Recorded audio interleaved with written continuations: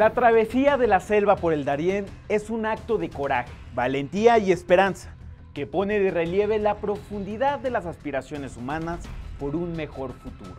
Cuando los migrantes emprenden este peligroso viaje a través de una de las selvas más inhóspitas y remotas del mundo, están dispuestos a arriesgar sus vidas en búsqueda de oportunidades que en su lugar de origen se les han negado. Yo soy Emerson Segura y esto es TV Migrante Informe.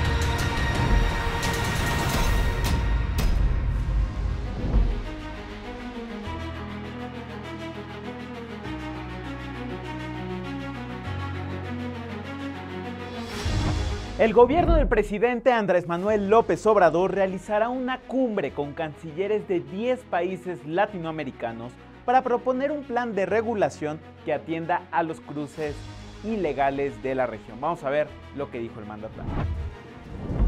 Por eso vamos a tener esta reunión con los cancilleres. Yo creo que en eh, los próximos 10 días vamos a tener esta reunión. Como 10 países. Sí. Eh, es una invitación del gobierno de México a los gobiernos de países que eh, pues tienen esta situación de que sus pobladores están migrando para hacer un plan conjunto de ayuda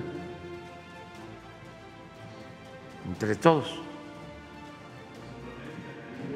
Sí, de los países principal, eh, que principalmente están este, enfrentando esta situación.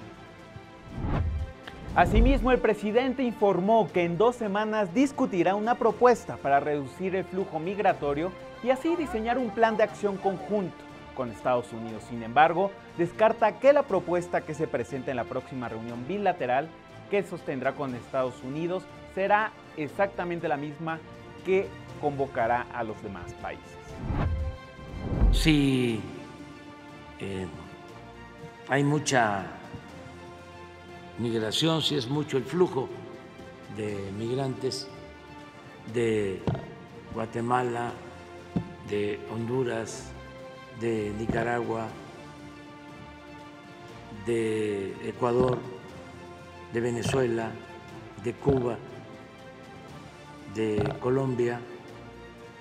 Eh, unirnos, analizar las causas, cómo ayudar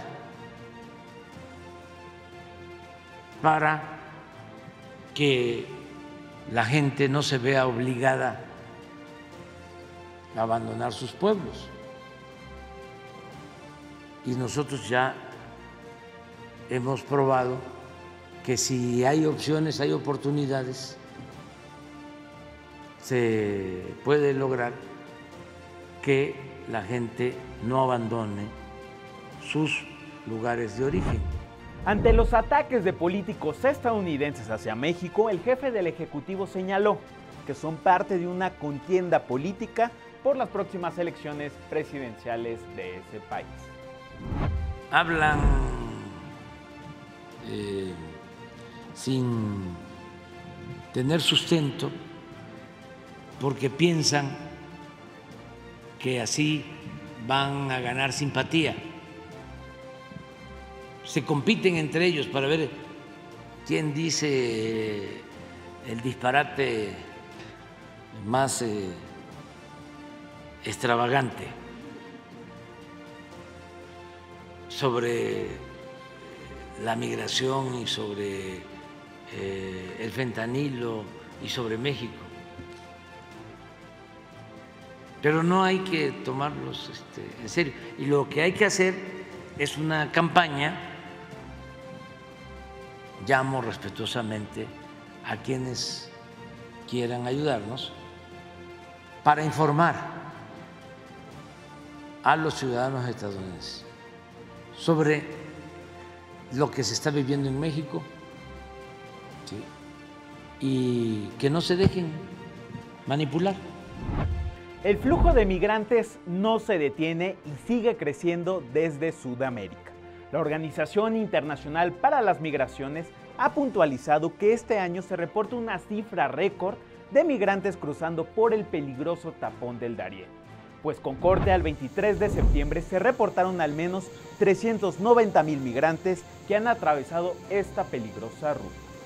Tan solo durante el mes de agosto, la cifra de personas que cruzaron por esta parte de la selva fue de 82 mil, siendo el número más alto para solo un mes en toda la historia. Los migrantes provienen principalmente de Venezuela, Ecuador y Haití. Si bien la ruta del Darién es una de las más utilizadas, también ya hay migrantes que empiezan a cuestionar y a buscar rutas alternativas para evitar justamente la selva. Vamos a ver. No salí de Cuba ni de Guyana. Guyana, Brasil, Brasil, Perú, Perú, Colombia y Colombia, aquí México. Eh, Honduras, Guatemala y México. evitar pasar el Darién. Sí, no, no, ¿Por yo qué? Por el miedo. El miedo a las cosas que dicen que estaban pasando en el Darién. Eh, muchos muertos, que la gente se caían de la loma esa, de la llorona. Si yo estoy ahí, lloro con ellos, por supuesto. Pero es verdad. Y los animales y las cosas. porque dicen que es peligroso y todo eso. Y es más largo, pienso que sea más largo el tramo. Ay, que es muy peligroso el viaje Es muy peligroso el el- viaje. Y durante las últimas semanas, el arribo a México de las caravanas migrantes provenientes de Centro y Sudamérica han ido en gran aumento. En su travesía con destino a los Estados Unidos, uno de los puntos en los que tocan base para descansar o bien pedir apoyo es la capital del país. Y para conocer estas historias, principalmente de venezolanos que arriesgan su vida en las selvas del Darién en búsqueda de una mejor vida, vamos con la nota de mi compañero Miguel Hernández.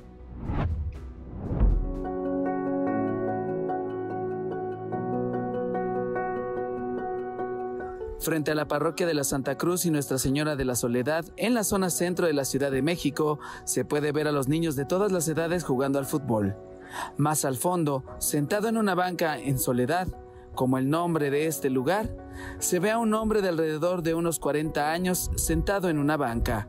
Es Rafael, un migrante venezolano que hace un mes dejó su país y a su familia. La cabeza de mi casa soy yo. Entonces, estando yo allá, no podía mantener ni a mis hijos ni a mis nietos. Entonces tuve que salir, vamos a futuro. Rafael eligió una de las rutas más rápidas, pero también la más peligrosa. Bueno, la ruta que yo conocí por medio de, de comunicaciones y amigos eh, era llegar hasta Medellín, Medellín hasta Turbo y de Turbo la selva. El cuento de que el Ariel lo pasé con la bendición de Dios. Me atreví a pasarla solo y vi muchos muertos por el camino, muchos accidentes, gente sufriendo, gente con piernas partidas, muertos, fa- familias completas, padre, madre, hijo. Muy triste. Reconoció que en esos momentos sintió temor de sumarse al grupo de fallecidos. Es, eh, parte, es desanimante, pero a la vez te anima a seguir adelante. Porque uno no se quiere quedar atrás como se quedaron ellos. ¿Sí me entiendes? Entonces eso fue algo que contárselo es una cosa y vivirles otra. ¿Se siente desesperación? Sí, ¿Miedo? mucho. Mucho miedo. Porque para qué le voy a decir mentira, mucho miedo. Pero en ese miedo conseguí a mis hijos que me dieron mucha fuerza y, y voluntad, y a mis nietos. Hoy, tras vivir la experiencia, asegura que no recomienda ni a su familia ni a ningún migrante atravesar el llamado tapón del Darién. Si Dios me permite llegar a mi destino y a mis hijos, si me los llego a, traer a mi destino donde yo voy, no quiero que mis hijos pasen por eso. Más, no- ni mis hijos, que nadie pase por eso. Porque he visto mucha gente muerta que yo digo, "Inte- lo intentaron, pero ahí quedaron. Entonces, yo digo, ¿vale la pena? No. No vale la pena. Pero ya uno está montado, como dice uno, en el tren, hay que terminar de llegar. Con un destino incierto, Rafael espera poder realizar los trámites para poder cruzar a los Estados Unidos. Mientras tanto, permanece en la capital del país en busca de algún trabajo temporal que le permita ganar algo de dinero para sobrellevar sus gastos y así poder avanzar hacia los Estados Unidos. Con imágenes de Ernesto Sánchez, Miguel Hernández, Canal 14. Ante la llegada masiva de migrantes, las autoridades de San Diego, California, declararon crisis humanitaria, a fin de que el gobierno federal les proporcione recursos para abrir más albergues, pues los existentes están saturados. La declaración presentada por los supervisores de San Diego, Jim Desmond y Nora Vargas, presidenta de la Junta, incluyen varias recomendaciones para aliviar el flujo migratorio en San Diego, así como en otras ciudades fronterizas. Y en el estado de Texas continúa la represión y las medidas coercitivas en contra de la comunidad migrante. El gobierno de Greg Abbott ha reinstalado las vallas de alambre de púas para evitar el paso a su territorio, específicamente en la ciudad de Eagle Pass, que colinda con el estado de Coahuila. Esto después de que la patrulla fronteriza rompiera los alambres para rescatar a los indocumentados. Sin embargo, los migrantes no han desistido de sus sueños y en los últimos días han llegado en grandes cantidades en compañía de familias, incluidos decenas de niños que cruzan el río Grande junto a sus padres.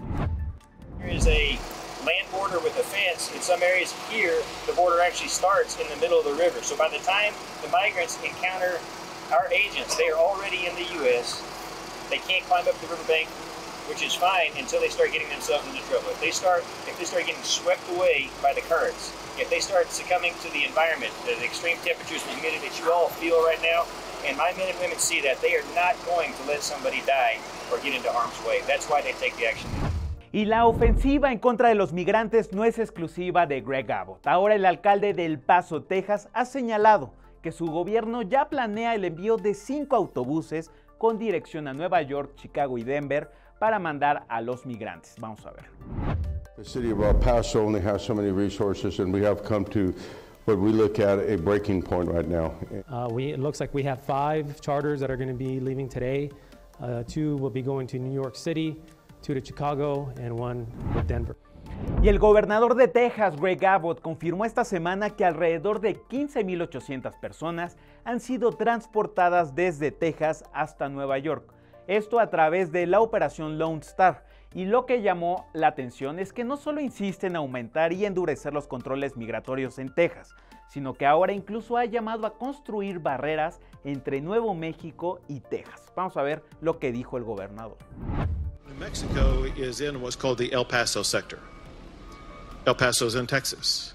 Uh, most of the people coming into the El Paso sector, they don't come to the United States through Texas. They come through New Mexico and then go over to El Paso.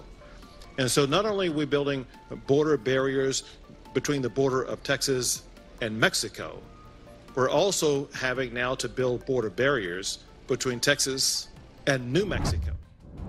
Dina Arenas y su familia emprendieron su viaje de meses desde Guatemala a los Estados Unidos en la primavera. Un arduo viaje que terminó en Los Ángeles. Esto como parte de la oleada inicial de autobuses a California bajo la operación Lone Star del gobernador derechista que hace unos momentos señalábamos Greg Abbott. Vamos a ver la historia de Dina y su familia. En mayo pasado, el gobernador republicano de Texas, Greg Abbott, quien se ha convertido en el rostro de la persecución y estigmatización contra los migrantes, reanudó una campaña de envío de migrantes en autobuses a los bastiones demócratas, incluidas ciudades como Chicago y Nueva York, donde la presión migratoria aumenta. El pasado 19 de septiembre, Los Ángeles recibió su décimo cuarto autobús de migrantes que transportaba a 40 solicitantes de asilo, muchos de ellos con historias como la de las familias Arenas. Pues fue muy duro, la verdad, porque se aguanta hambre, frío, cansancio, pero la verdad es de que vale la pena.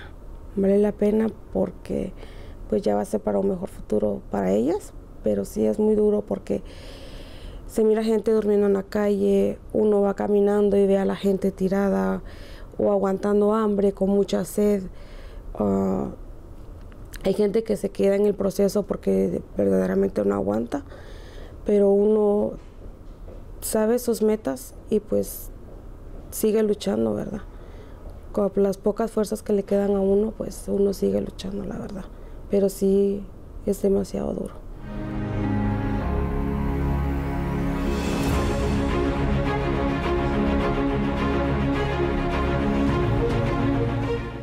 Al carecer de recursos financieros, la familia no tuvo otra alternativa que aceptar una oferta para ser transportada en autobús durante casi dos días desde Texas a California. Porque uh, hay mucha delincuencia ahora en nuestro país y pues eso nos hizo emigrar. Y otra, pues por la educación de nuestras hijas, que es una mejor, va a ser una mejor vida para ellas. Desde que inició esta política de envío de migrantes en autobuses, Los Ángeles ha recibido 14 autobuses y ha ayudado a más de 600 solicitantes de asilo. La historia de la familia Arenas es solo una más de miles de familias que sufren las políticas de odio y xenofobia. TV Migrante informa. Y el Instituto Nacional de Migración, a través de la Oficina de Representación en el Estado de Chiapas, recibió equipo donado por parte de la Embajada de Estados Unidos a través de la Oficina de Asuntos de Narcóticos y Aplicación de la Ley, esto bajo el marco del Acuerdo de Entendimiento Bicentenario México-Estados Unidos para la Seguridad, Salud Pública y Comunidades Seguras. Se trata de botiquines de primeros auxilios, material para sanitizar, equipo portátil de generación de energía y para la señalización vial, entre otros. Este equipo se destinará a tareas de ayuda y auxilio humanitario en los estados de Chiapas, Hidalgo, Oaxaca, Puebla, Querétaro, Tamaulipas y Veracruz. En la frontera sur del país continúa la llegada de caravanas migrantes y con el fin de brindarles una mejor atención y así evitar accidentes como lo ocurrido la semana pasada en las oficinas de la Comisión Mexicana de Ayuda a Refugiados en Tapachula, Chiapas, el Instituto Nacional de Migración instaló un campamento en el Parque Ecológico Los Cerritos en este sitio, funcionarios de la Comar aclararon que esta dependencia no cuenta con la facultad de otorgar permisos para transitar por el país.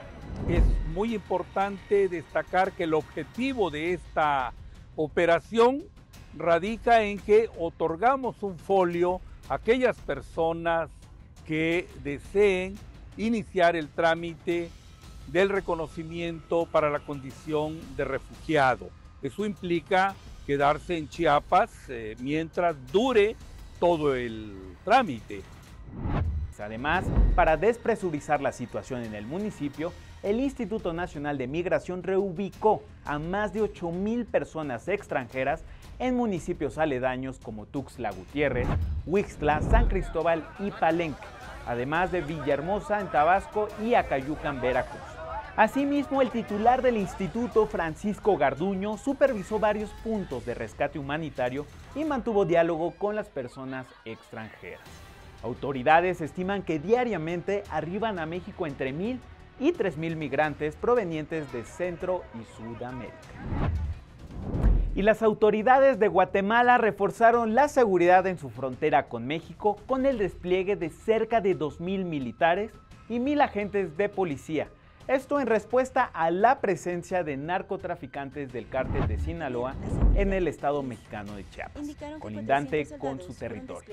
La mayoría de estos refuerzos fueron enviados a los departamentos de Huehuetenango y San Marcos, considerados por la nación centroamericana como estratégicos, al contar con puntos ciegos donde convergen trasiego de drogas, contrabando y tráfico ilegal de migrantes. Huehuetenango es una zona en la que se ha detectado el ingreso de grupos armados gracias a fotos y videos publicados por la población local en las redes sociales. Para muchos migrantes, un punto en su ruta hacia el país vecino del norte es el Estado de México, en específico el municipio de Huehuetoca, donde se dirigen con la esperanza de abordar los trenes que van para el Bajío y de ahí ir a la frontera norte. Esta es la crónica de Miguel Hernández.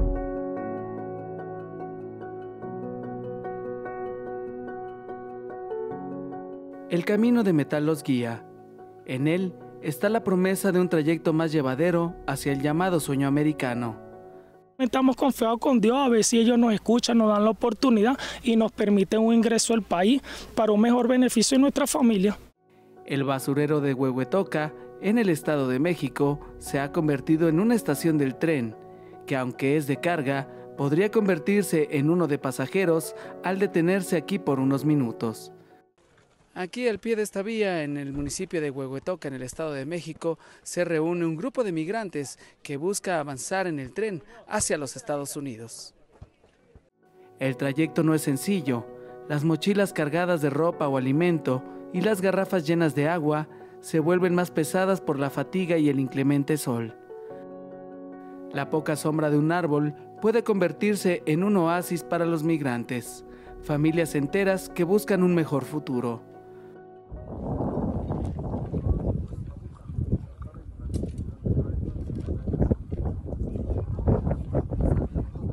Para luchar y encontrar una mejor calidad de vida, como para poderle dar estudio, como para poderle este, brindar una mejor calidad de vida, que es en realidad lo que nosotros queremos. Nosotros no andamos buscando enriquecernos, no andamos buscando esto, nosotros únicamente queremos darle estudio a nuestros hijos y buscar una mejor calidad de vida para ellos. En este caso, yo lo hago por mi hija. El drama comenzó en su país de origen, Venezuela, donde los sueldos no son suficientes para sobrevivir. La verdad sí está, es una crisis fuerte, es de trabajar un mes y comer un día. O sea, con eso te lo digo todo. Imagínate tú, nuestros hijos, tenemos que salir porque si no, no nos morimos de hambre, la verdad. Para avanzar hacia su meta, han tenido que enfrentar grandes riesgos en el camino, tanto retos de la naturaleza como la vileza de los criminales. Lo que sucedió que, wow, sí me, me impresionó mucho y pues fue que me iban a quitar a mi hija en frontera de Guatemala con, México. Unas personas se pararon la madrugada a las 2 de la mañana. El hombre le estaba bajando los pantalones a mi hija en la misma carpa. Nos echaron algo, no sé qué fue lo que nos echaron. Y ella, gracias a Dios, pudo, pudo solventar la situación, manejar la situación. Cuando yo me desperté, le pregunté a qué pasó. Aquel hombre intentó abusar de mí. El tapón del Darién, el tapón del Darién este, no es nada fácil. No es nada fácil. Es como quien dice el infierno, le podría decir, donde nosotros vivimos este, cosas, pasamos eh, por encima de muertos, compañeros que teníamos que ayudarlos porque queríamos ayudarlos, pero lamentablemente no podíamos porque este, hasta ahí era lo que nosotros podíamos hacer cuando más darle agua y pasarle por un lado y seguir porque nosotros andábamos en lo mismo. Este, a mí me tocó el último día de, selva en el tapón del Darién, este, sin comida, simplemente llegamos a punta de agua, a punta de vaso de agua y bueno, en este caso le doy las gracias a Dios que nos dio la fortaleza y la fuerza para luchar y seguir adelante y bueno, estamos donde estamos. Agradecen que en México las autoridades los apoyan en su andar, que no tiene otro destino que los Estados Unidos.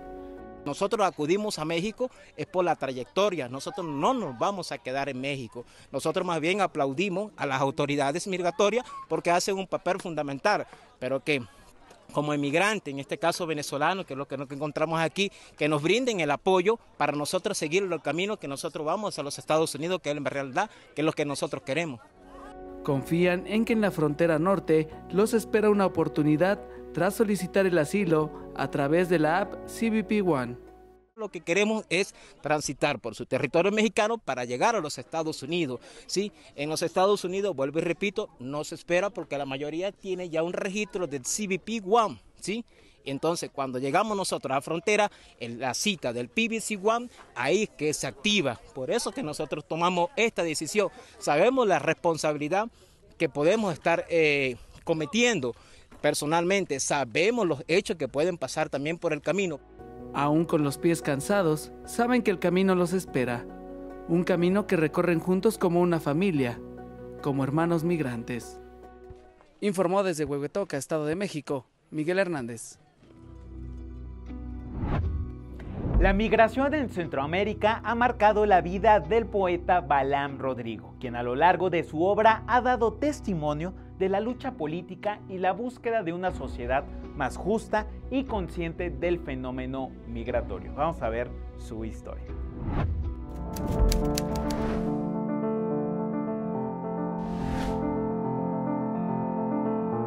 La memoria y la experiencia han dado origen a la obra del poeta, ensayista y biólogo mexicano Balam Rodrigo, quien a través de las letras ha sembrado una lucha contra el olvido de los pueblos y sus gobiernos hacia el fenómeno global de la inmigración.